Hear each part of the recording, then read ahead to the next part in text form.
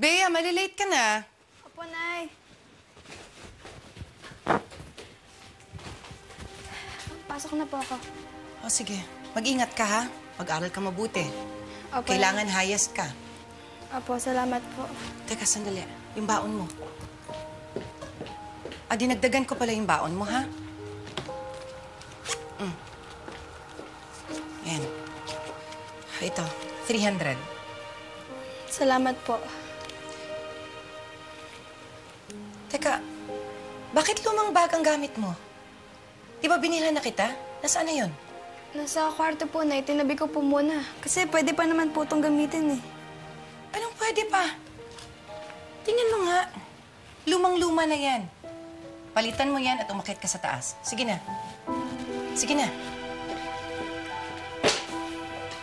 At yung sapatos mo, Bea, luma din. Ano ka pa namang bata ka? Kaya nga binilan kita para gamitin mo. Para maiba ka sa mga kaklase mo.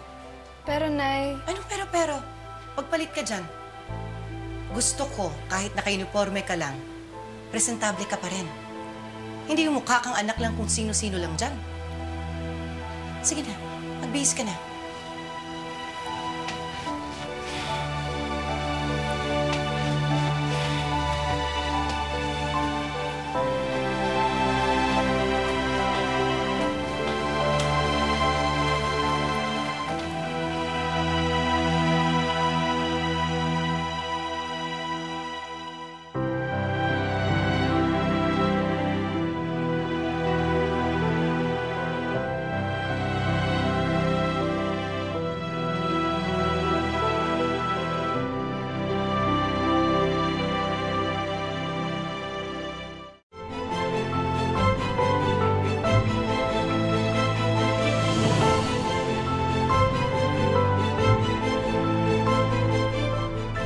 Nasaan ka nang kailangan kita?